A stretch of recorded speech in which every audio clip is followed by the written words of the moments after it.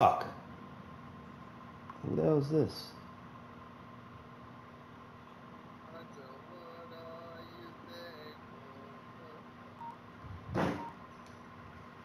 So first and goal, six points here would go a long way toward wrapping this one up.